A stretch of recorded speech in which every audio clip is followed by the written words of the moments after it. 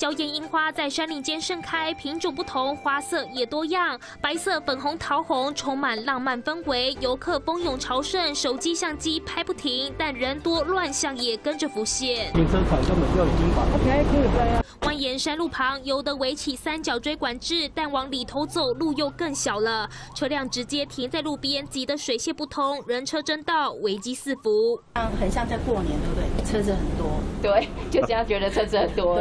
有的人就是比较不守规矩，像像你你要回车的地方，你就不能停，不然底下停车场很多。榆林草岭樱花季上周末开跑，吸引超过两万人次欣赏，就连平常日也涌进数千名游客赏花，不少民众直接把车停在路边，光看就很危险。主办单位在沿途设立禁止停车告示牌，以免意外发生。另外，在台中新社也有美丽的樱木花道。这次樱花开的比以往，我觉得都还要漂亮。现在这样子弄起来还不错了，有有在整理。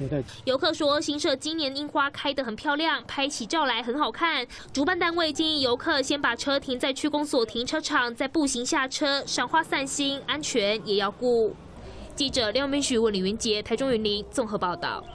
我是徐国豪，在中视新闻首次坐上主播台，体会到播报新闻所需要的稳健台风，以及掌握突发即时新闻的随机应变。为观众播报最及时的新闻，就是展现专业的时刻。